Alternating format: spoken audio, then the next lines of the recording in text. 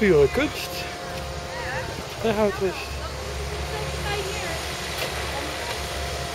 Als een balletdanser staat eh, die kraan eh, het zand te verspreiden.